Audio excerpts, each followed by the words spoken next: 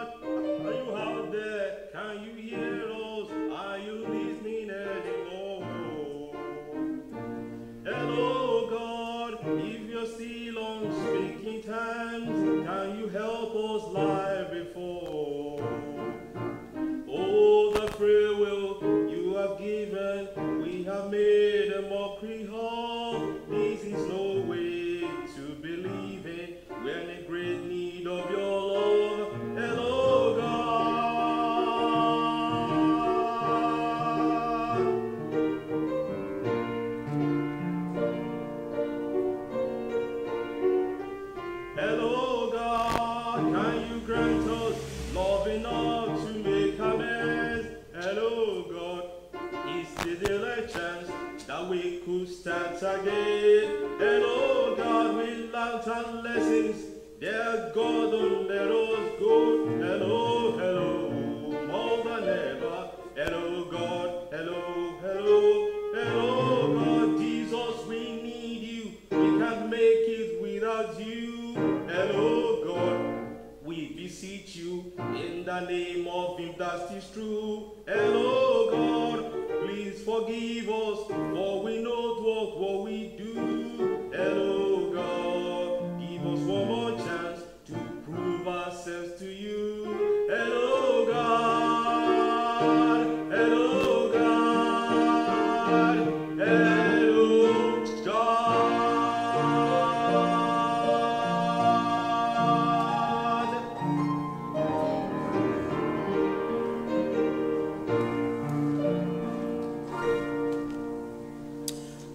glad to see everyone this morning, particularly those who have um, managed to be in this um, holy sanctuary again after about five months of um, lockdown.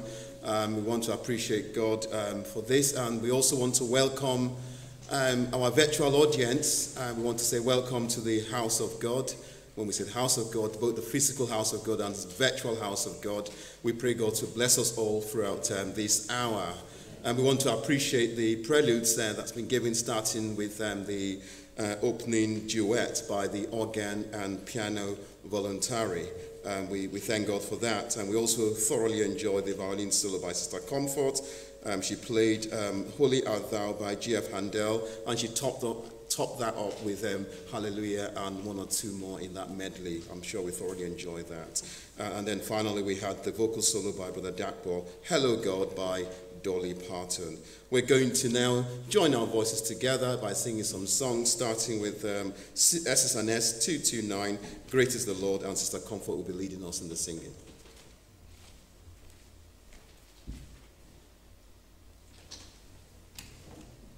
We sing through the verses 1 to 4 after the tune by the organist.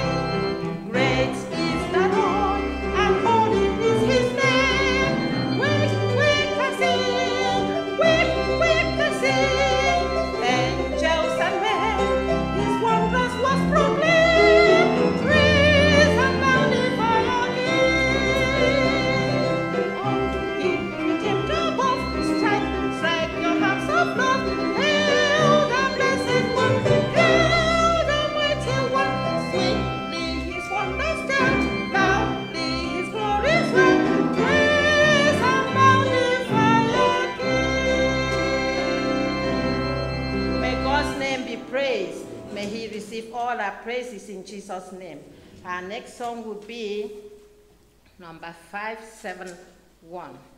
571. 57. Sorry, 583. Beg your pardon, 583. And we are going to sing through the verses. Please join to sing with us from wherever you are, from verses 1 to 5. After the tune, your you.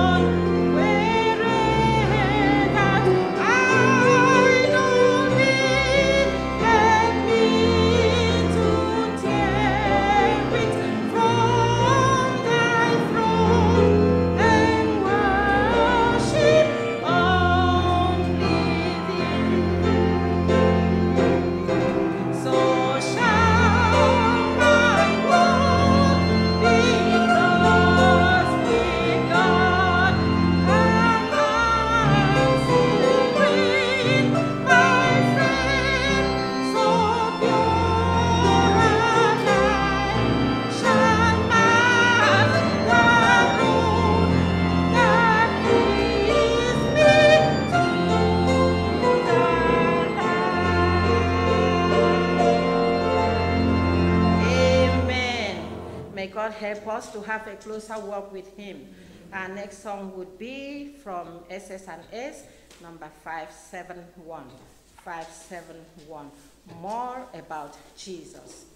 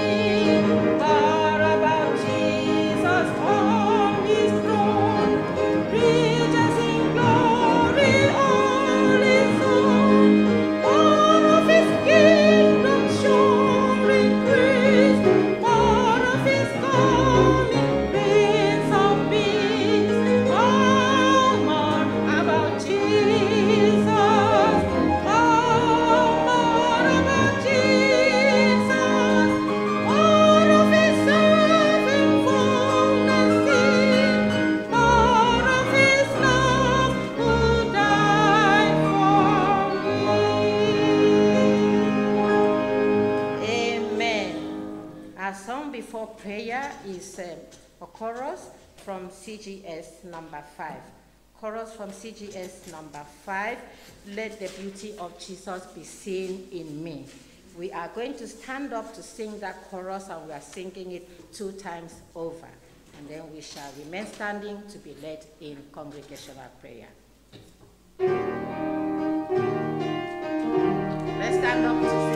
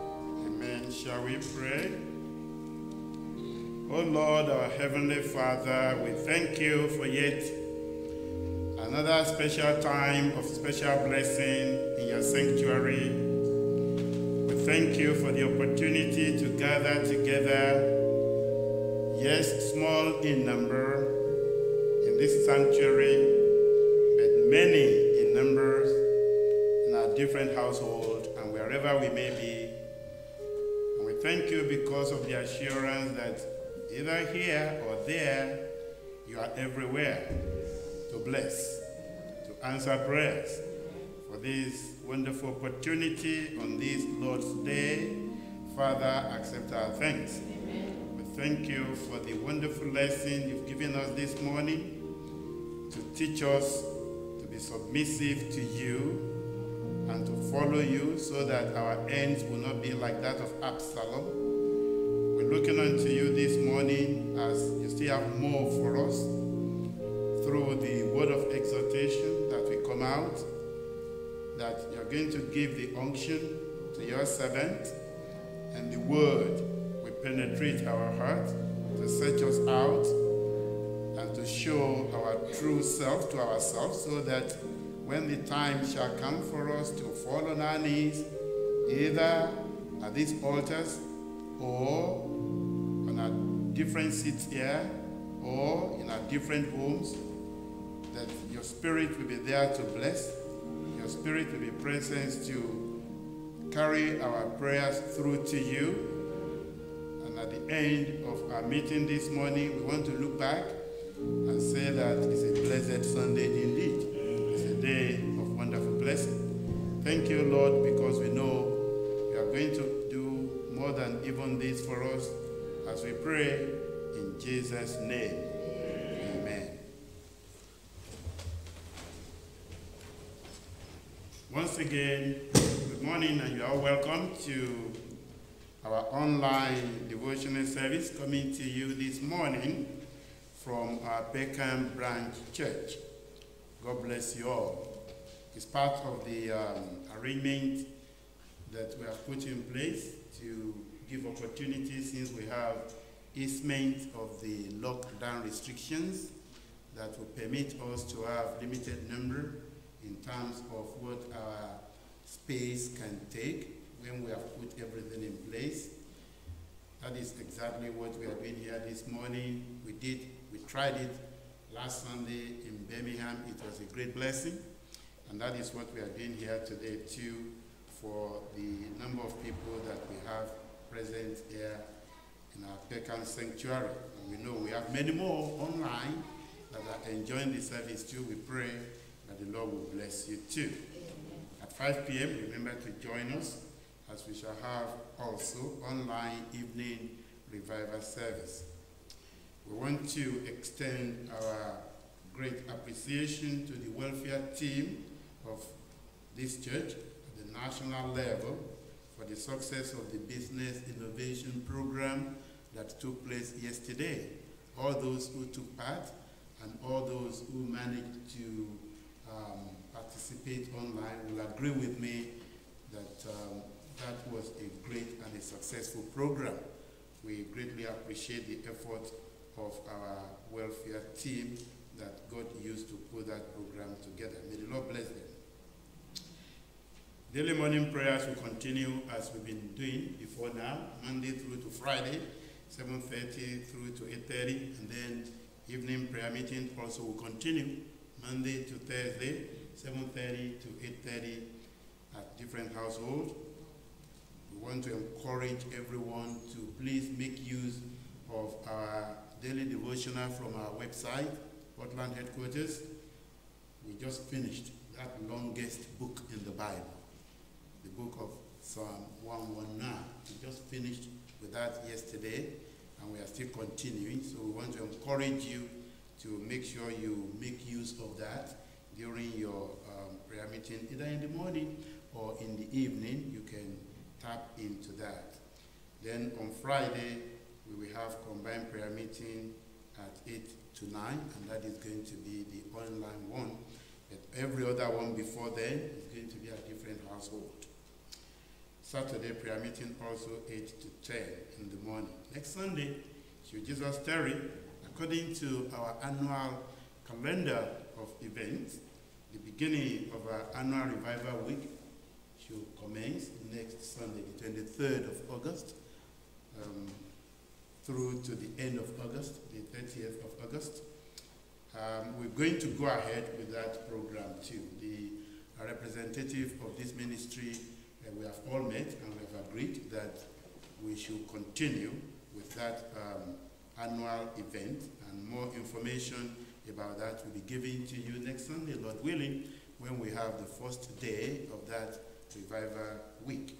But for next Sunday, Lord willing, elementary Sunday school at 9.30 as we had this morning, junior and adult Sunday school at 10, devotional service at 11.15, young adult service will be at 2.30, and then revival and evangelistic service at 5 p.m.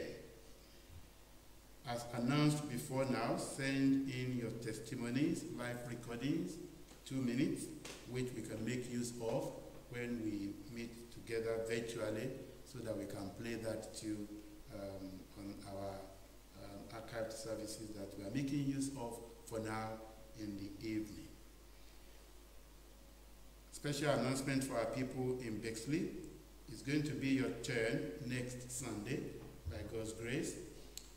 Before now, we have not invited everyone as we have done in Birmingham as well as here in Peckham. We have not done that yet in Bexley. So for next Sunday, we are extending invitation to all our members of Bexley Branch Church to um, come to church, those who would like to. Um, we've been doing this through a registration process just as we did in Birmingham and as we did even here today. We have um, about 30 people in total here in our um, Peckham branch for this morning. So please, for those who would like to attend as well in Bexley, register your intention to do so, so that this can be controlled and planned in an orderly fashion. We want the registration to be in place. So for our Bexley uh, members, register with Brother Olaito. Brother Olaito. We plan also to have a similar thing for our um, members in Manchester, but as you will have perhaps seen from the message I posted during the course of this week, uh, this last week, we will not be able to do that uh, so soon because of the local lockdown um, operating now in Manchester. For our Manchester members, by the grace of God, as we are praying that the Lord will take away COVID 19 by God's grace, we plan that you two will have the opportunity to be in your sanctuary again in your number and then um, have a live service as we are having now. Where we pray that God will bless you as you join online yet. Okay, we continue with the service uh, with our first special, which is a vocal solo by Sister Yemisi, Whispering Hope by Alice Hawthorne. Sister Yemisi will come forward to give us that solo. Well, we have a screen for our soloist here, so she will take off her mask and come before the screen to render that solo. And then we have the Bible, Bible reading, which has been selected from the uh, First Peter chapter 3, verses 1 to 9. And then the last special, another vocal solo to be given by Brother Godwin, Prove It by Your Life P.W. Brown, and follow with a word of exhortation before we have the closing congregational song, which is for the altar call, um, taken from the hymn book that we were used, we, are, we, we have been using this morning, um, SSNS 473, just as I am. And then we have the closing prayer at the end um, by Brother Godwin. As usual, be sure to take time to pray at the altar in your home. For us there in the church, we only have two people on the altar for the men, two people for the altar on the ladies. But of course, every place now can be an altar. Wherever we have the opportunity to kneel down and pray, we know that the Lord will certainly answer our prayers. God bless you all.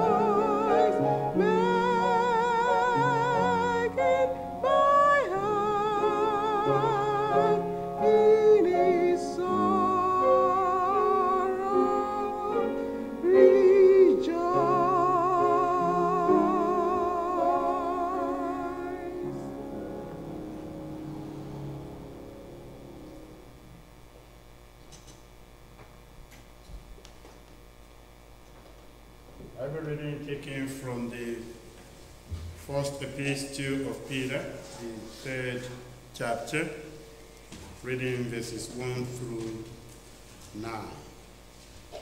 Likewise, ye wives, be in subjection to your own husbands, that if any obey not the word, they also may without the word be won by the conversation of the wise while they behold your chaste conversation coupled with fear, whose adorning, let it not be that outward adorning of plaiting the hair, and of wearing of gold, or of putting on of apparel. But let it be the hidden man of the heart, in that which is not corruptible, even the ornament of a meek and quiet spirit, which is in the sight of God of great price. For after this manner in the old time the holy women also, who trusted in God, adorned themselves, being in subjection unto their own husbands. Even as Sarah obeyed Abraham, calling him Lord, whose daughters ye are, as long as ye do well, and are not afraid with any amazement.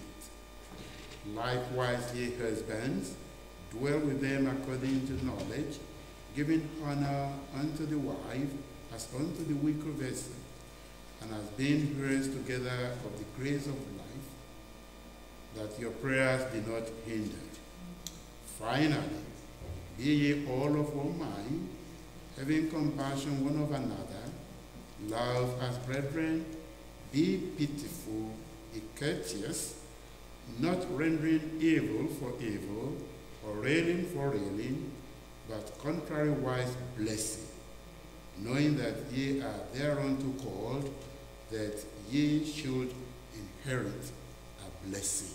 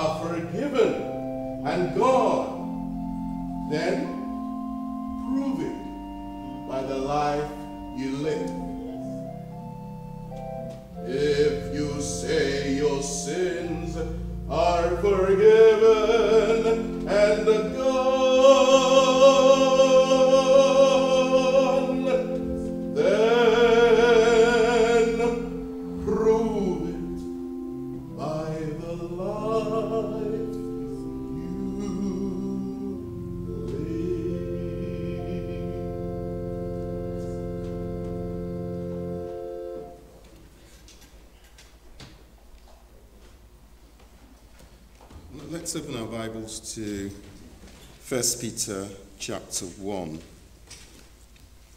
Our, focus will be a lot on 1 Peter this morning. 1 Peter chapter 1, verse 1 and verses 3 through to 6. Verse 1 Peter, an apostle of Jesus Christ, to the strangers scattered throughout Pontus, Galatia, Cappadocia, Asia, and Bithynia.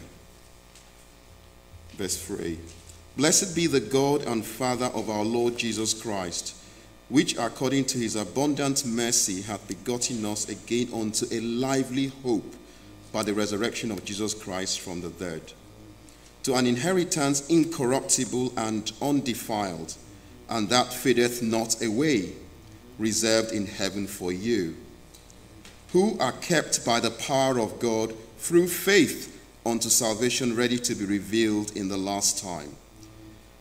Verse 6 Wherein ye greatly rejoice, though now for a season, if need be, ye are in heaviness through manifold temptations. Well, I guess um, it, it is kind of supposed that um, this Peter's first epistle was written shortly after Paul the apostle was martyred, after his martyrdom. At that time, the churches that Paul helped to establish were going through a lot of fiery trials. They were going through a bit of hard time, if you like. It was around about, um, Bible scholars say it was around about 35 years after Pentecost, and the church was going through hard persecution at this time. And at this time, the Roman emperor then, Nero, the Roman emperor, the uh, emperor of Rome, was persecuting the church. And to cover up his own guilt at the time, he accused the Christians of burning Rome. Rome was on, on fire, and the Christians were accused of that, um, that tragedy, if you like. And in trying to get back, he inflicted a lot of pain at that time. It's a traumatic period for the Christians. Some of them were dipped in tar and used as torches, if you like.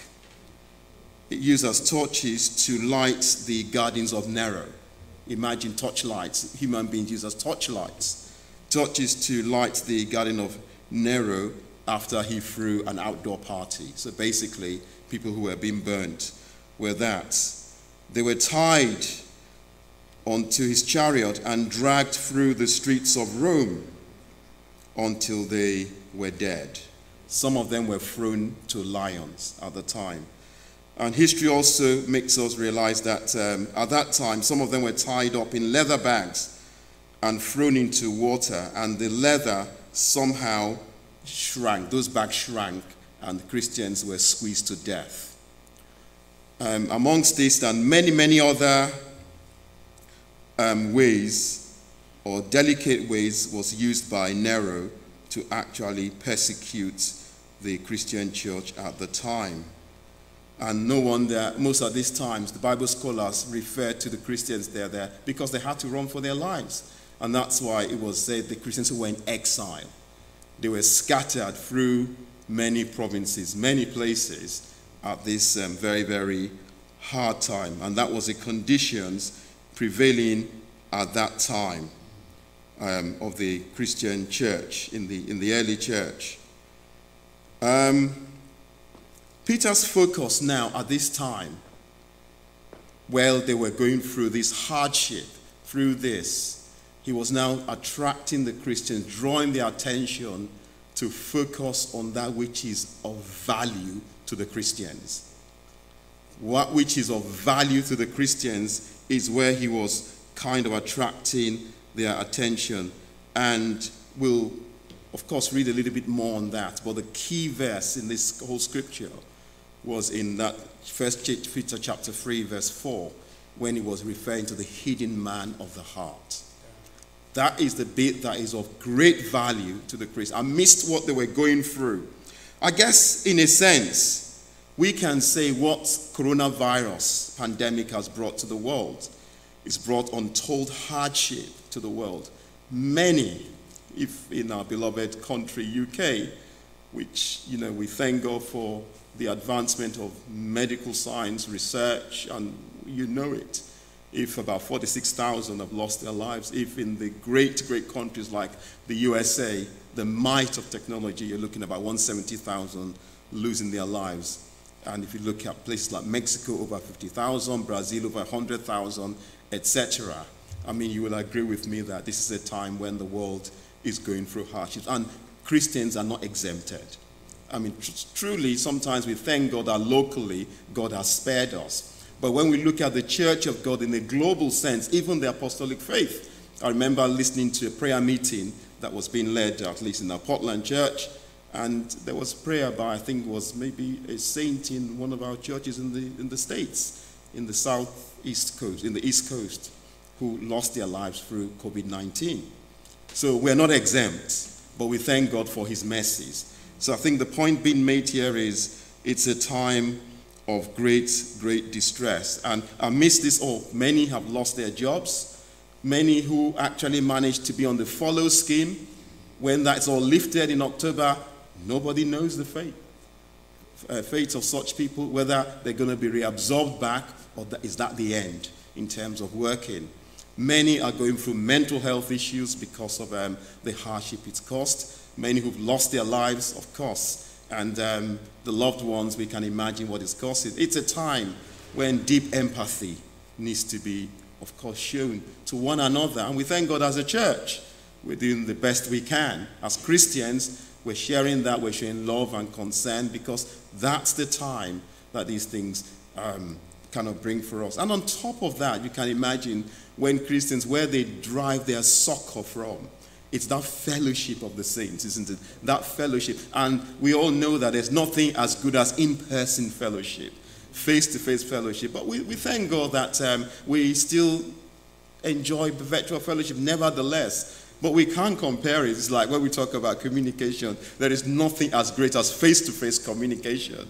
So, but that is the time in which we're in. And amidst all this, we're hearing that even the second wave, we're hearing maybe in Spain, France, that, that verge, we don't know what's going to happen. We, Isaac was mentioning during the announcement about uh, Manchester and I think at four, five other cities, you know, they've gone back to lockdown mode. So the future is very, very uncertain. We don't know. Of course, we trust God and we believe God for the best. There's no doubt about that. But I think the reality is, I think we can link into such a time that the Christian church, although what they faced at this time was far harsher than what we are facing, but nevertheless, Paul was attracting them to that which was of great value to them. We do not know what lies ahead in terms of the timing of end time events. We all know as Christians, we preach about end time events, we talk about it, we say so much about it, but we don't know. In Matthew 24, I remember the disciples were they were asking Jesus Christ privately, "What shall be the sign of thy coming and of the end of the world?" His response in verses 6 through to 9 of that Matthew 24 was, "And ye shall hear of wars and rumors of wars. See that ye be not troubled, for all these things must come to pass, but the end is not yet. For nation shall rise against nation, and kingdom against kingdom, and there shall be famines and pestilences and earthquakes. We all agree that coronavirus is an example of a pestilence, isn't it? When the Bible talks about pestilences in diverse places, isn't it? When we're talking about coronavirus, diverse places across the entire globe, it's almost in almost every country, bar a few. So that's we can see that this is an end time event. So the Bible then says in diverse places in verse 8, all these are the beginning of sorrows. Then shall they deliver you up to be afflicted, and shall kill you, and shall be hated of all nations for my name's sake. I guess we do not know the timing of this verse 9. We're not necessarily saying that is the case. The Bible says the beginning of sorrows. Again, we don't know how much in the beginning. Is it really the beginning? That's all God's prerogative. But as Christians, we want to be wise people. And um, the, the, the key here is it's saying, then they shall be delivered you up to be afflicted. That means there's a time when Christians in the end times, what we read in First Peter was at the very beginning of the church. But at the end time of the church, while God will be moving, I believe, in great ways, it's also going to be a time of affliction. It's going to be a time when the church will go through a lot. And that's what it's kind of saying, and shall kill you, and shall be hated of all nations for my name's sake. Now, when we can feel those kind of reverberations that things like this might happen, Paul was, as he was admonishing the church at that time, is he said at this time, it's a time to focus on what is of much value to the Christians. And then we go back to our reading, our actually Bible reading text. Maybe I'll focus on verses 3 to 4 of um, 1 Peter chapter 3. Whose adorning, let it not be that outward adorning of plaiting the hair and of wearing of gold or of putting on of apparel.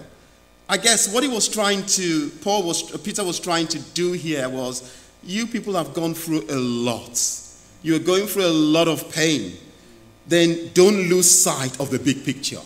This is the time to focus on that which is of value to you as a Christian. He said, You're adorning. He said, Let it not be of plaiting the hair. Of course, plaiting the hair, there's nothing wrong in plaiting the hair.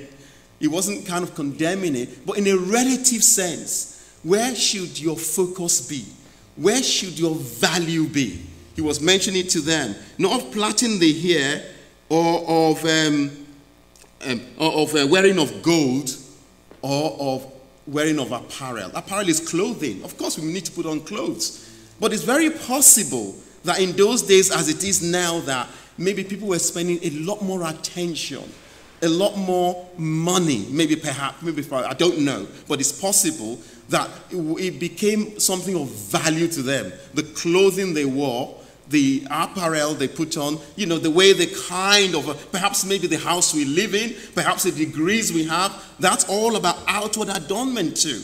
They may not be immediate, but those things that define us. He said, remove your focus from that. Treat those as if they are passing away. Treat those as if one day they are fleeting. And he said, let your adorning. So it's true, as I said.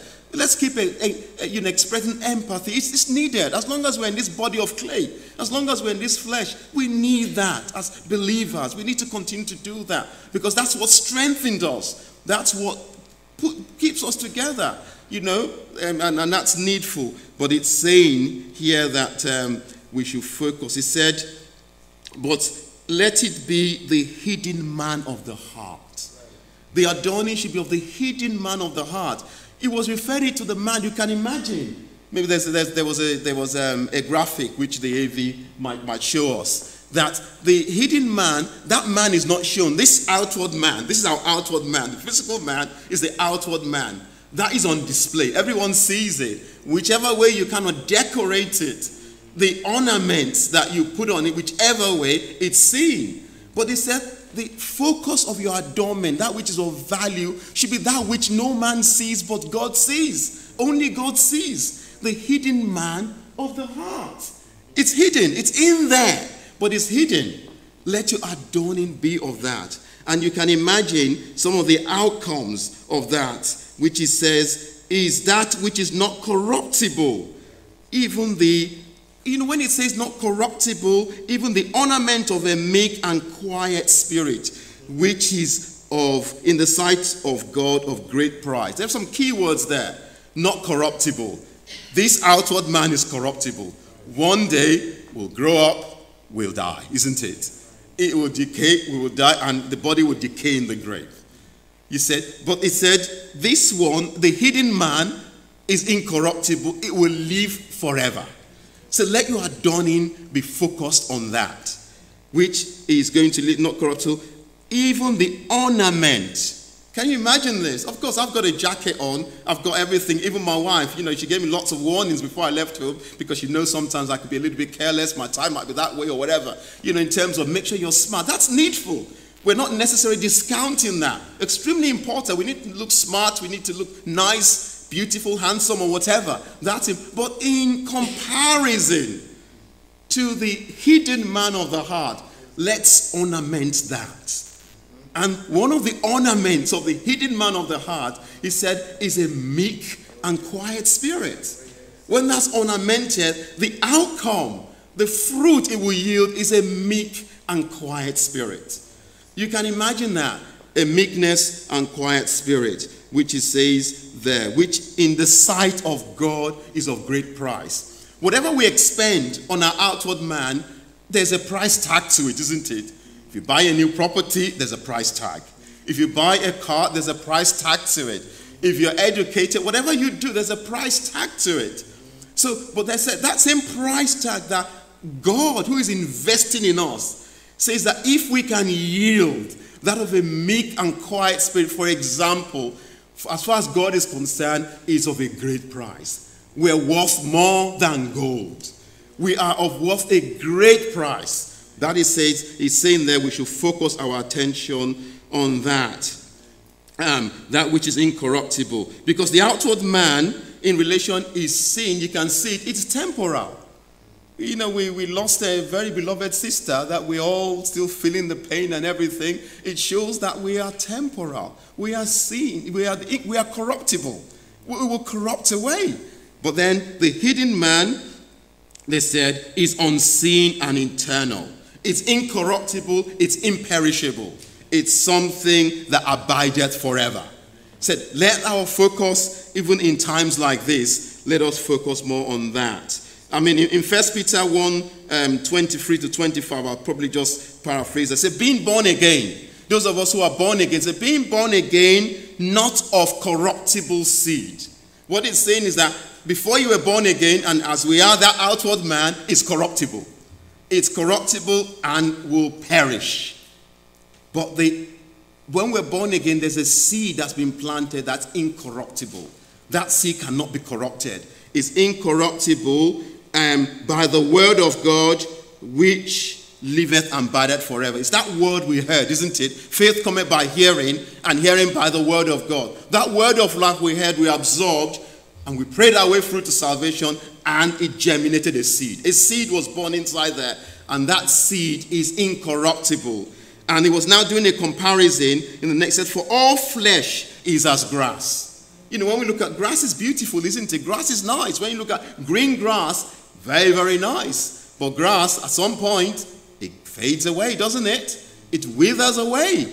He said, that is grass. So at some point, maybe even between winter and summer, you know, grass kind of, we get rid of it. But it looks very nice. And he said, the glory of man is like flower that comes out of that grass. The glory of man, when we adorn ourselves, that's the glory of man.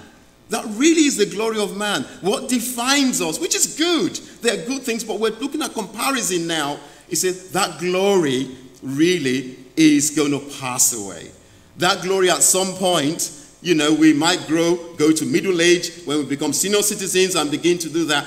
Actually, we begin to see that that things begin to change, isn't it? Our makeup changes completely. The things that well, great, this thing, maybe sometimes we'll be, we told even our over 70s, who are probably not that old really, to perhaps maybe stay at home because of coronavirus. That's just an example, not to talk of over 80s or over 90s. At that point, you'll be even asking that. I, I remember, was it Brother L. Phillips in Portland? They were asking him a question, you know, you enjoy. He said, well, he really prefers to be with the Lord if the Lord wants to call him home that, um, that it, the body's aching a bit more. He said it's aching. He said he's enjoying the Lord, no doubt. But his desire is to be with the Lord because this body of clay is beginning to have its toll. That is about our outward man. That's why it says, in comparison, let us focus on that. Let us focus on that. And the flesh, the, the grass, you know, the flower, that even that glory, it looks like a flower. You know, flower is beautiful. When you look at, you know, different kinds of uh, flower, daffodils, whatever you call it, they, they're nice, they're wonderful. But at some point, it fades away. And that is man. We will fade away. That's why I said, let your adorning not be of the outward, but focus on that. Um, in Ephesians um, 4.24 it says, And that ye put on the new man, which after God is created in righteousness and true holiness. That's a new, that's a hidden man. When we put on that, let's focus more. At this time, at this end time, let's focus more on that. The hidden man of the heart. He says in, in 2 Corinthians 4 6 says, For which cause we faint not, but though our outward man perish, yet the inward man is renewed day by day. Again, what he's trying to say is the outward man, you know, there's a recognition. We need to recognize that this outward man, whether sometimes when we are sick or going through a lot of hardship and things are ebbing away, we might use that scripture. But also, even when we are well, we know in a relative sense by the time those of us maybe if you by the time you get to your 40s hitting 50s 60s you begin to count down feel that look at some point that outward man gradually begins to perish. The same health you had as a teenager, it's not going to be the same in the 30s or maybe from 40s, things begin to happen. That we've got to take some extra care. By the time you hit your 60s, mm, 70s, 80s, and the rest is just the mercy of God who decides to keep one alive a bit more or some maybe, maybe a, a bit further. And what it's saying here is that in that kind of this thing, that the reasons why we're born again is because of eternity. We were born again to inherit eternity and then focus our value on things that will build up the hidden man. That's pretty much what he was trying to tell us here. Imagine the issue about, um, he said, a meek and quiet spirit. I mean, the, the point here is the Bible says, by their fruits ye shall know them, isn't it? That's the scriptures. And sometimes we sometimes define Christianity as okay, we all come to church, we all fellowship with one another. But if the fruits of Christianity, if that meek and quiet spirit as an example isn't there, then that which is valuable to what we are made of, we're not focusing on it. And if we're not focusing on it, then the chances are we may not inherit that eternal blessing, but God forbid. We pray God to really help us. So that, that's the point he was trying to say that um, let's where God resides, where his attention is, let's focus our attention more on that. In, in that verse 4, he said, not, um, in the sight of God is of much, much um, value. It's a great price. Means we should focus our attention on that, the ornament of a meek and quiet spirit. When we talk about meekness in behavior, meekness in behavior is meekness is, a, is our behavior towards others. When God has walked in us, meekness, it's someone who has no self will. Your self will is gone, no self interest. You are ready to kind of just take pain, to suffer pain. You're ready to kind of, um, you know, suffer for the sake of Christ. Even among believers, you're ready to do it so that that meekness, that ge- meekness leads to gentleness. When you are meek, and th- that's meekness is what gives you a quiet spirit. Where some people will be railing and ranting and raving, you're quiet because God has actually done a bit of work in us. Um, meekness is always associated with humility. There is no way someone can be humble without being meek. Meekness actually is what defines humility. Because, you know, we, we, all, we, all, we all have that self in us. Whether we like it or not, we have self interest, it's just natural. But when you bury that and say, God, thy will and not mine, not my desire, but yours, that is when circumstances happen, the outcome will be meekness. The outcome will be quietness. And that's no wonder in those scriptures. If you look at that first Peter chapter 3, when it says, likewise, ye wives, what it's saying there is being subjected to your own husbands. I mean, we need to understand the context here. They were going through hardship now. There's a tendency in the home that things may want to erupt. It's possible. We, those of us who are married knows that um, you know things can happen.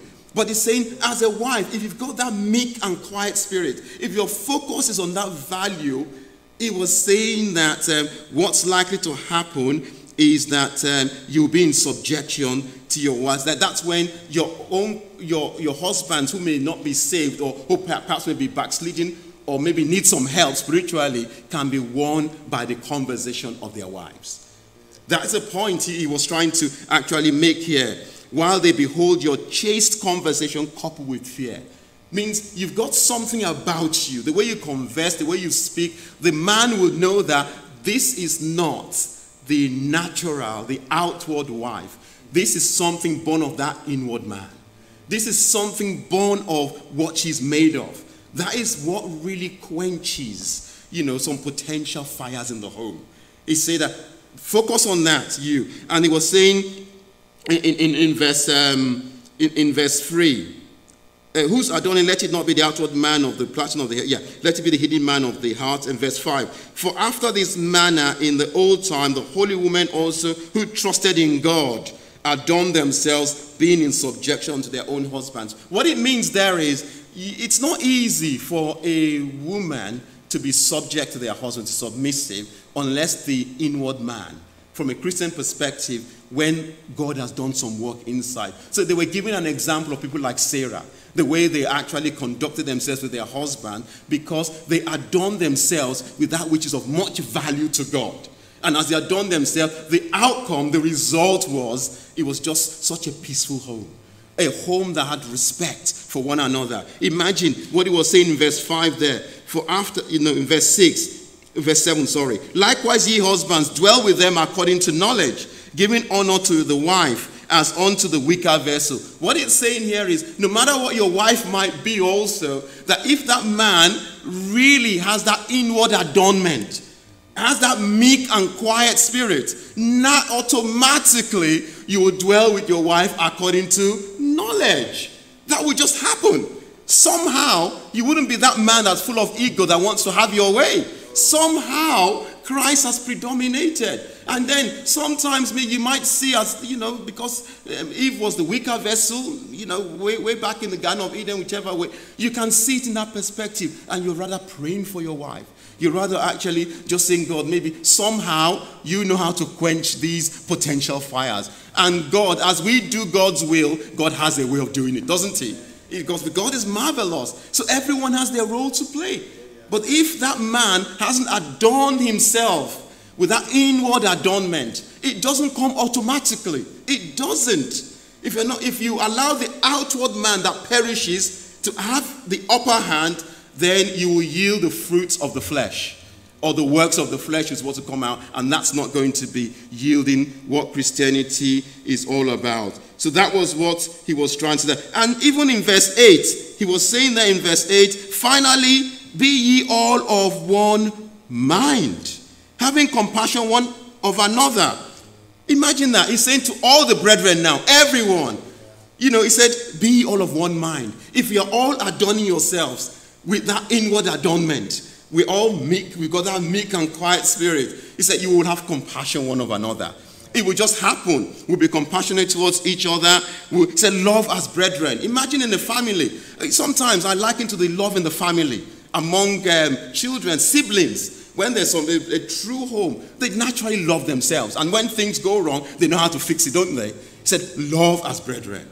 As the members of the family of God, when we just love each other. He said, be pitiful. Pitiful means someone may, might, might have even erred. Be pitiful. Say, be, be courteous. You know, courtesy. Very, very important. The way we act and relate to one another. Courtesy. If the world knows courtesy, I believe Christians should epitomize courtesy more than the world can ever do. If it's lacking in the church, then there's something lacking in our Christian graces. It should really manifest in such a big way among those of us professing to be Christians. He said, courteous. He said, love lovers, brethren, not rendering evil for evil, which means it's possible that evil may come to you. It may come from within or without, but don't respond back. He said, no, don't do that. He said, he said, um, not rendering or no um, railing for railing. Things may happen whereby you, you know the flesh in you would say no. He said, contrariwise, blessing. The, it's the inward man, it's the hidden man of the heart that can produce that. Our outward man, our natural man cannot produce that. That's what it says we should do. And as we prepare for glory land, that's the kind of attitude we should have. And we pray God to help us to have. I mean, look at the lesson we studied today. Look at the, you know, when David was being, you know, almost driven out by his son Absalom. David's utterance is, you know, just leave it. They were trying to bring the ark to said, no, no, no, take it back to the city. He just left it to God. That's an example of the hidden man in the heart, you know, working. He just left it to God. Say, God, have your way. And when Shimei, we know when he came abusing and cursing, and someone said, Look, are we going to allow this? Let's act. He said, No, no, no, no, no, no, no, no, no, no. I'm in God's hands. Maybe God has allowed it. Let, let, let, let it happen. That's okay. You, you, you can see here someone who there's no self with no self-interest. He just committed, committed himself to him he was able to assess, to, to deal with the situation. That's, that's, that's an example of meekness. That's, an, that's what can lead to that beauty of quietness. And that's what the Bible is enjoining us to do. Um, it, it's that, um, you, you know, we can adorn ourselves, adorn the outward man, or adorn the inner man. There's nothing wrong in adorning the outward man. That's why the Bible says do it in a modest way. That's why the Bible was promoting modesty. Modesty means that you wouldn't go beyond limits. You're modest. Bang, focus on the, the inner man. That's what's going to be to God of great price. That's what's going to produce not the me factor, but the God factor. It's not about me as a person because there's nothing good in me. I know that. It is my yielding to God that's going to produce fruits of Christianity. That is when people can glorify our Father.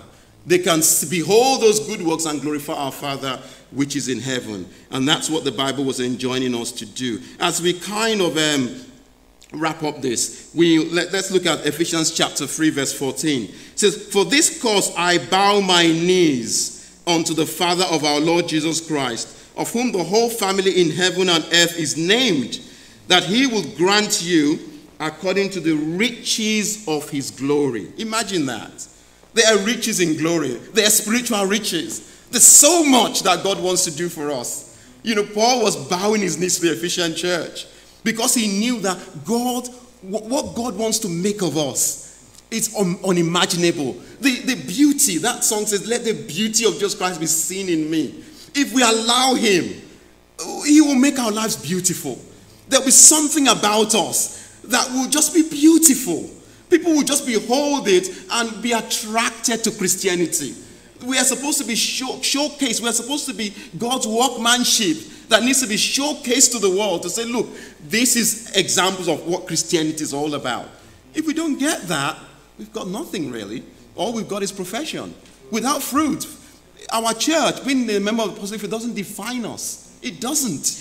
It's the fruit that we get through being a member because we thank God for what we receive, but it was, it's what comes out of it that, that, that defines us. Otherwise, you know, it's, it's like going to, you know, those of us who came from Nigeria, we used to, there used to be this kind of, um, maybe not independent school, the likes of grammar schools in, in Nigeria.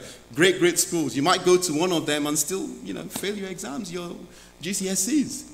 Of course, you're not int- it's not intended for you to fail it, but it's still possible. Places like King's College that uh, bro, Francis can relate to. Yes, a lot of them will do well, but some of them still don't, don't make it. So it's not the church. It's about what we get out of it. What we get about God working in our hearts that really matters most. So he said, um, according to riches in glory, to be strengthened with might by his spirit in the inner man. That is God's prayer for us. We want to be strengthened in our inner man. We want God to put something there that produces fruit constantly, perennially, all the time. That makes our wives see us and say, That my husband is a godly man. My wife is a godly woman.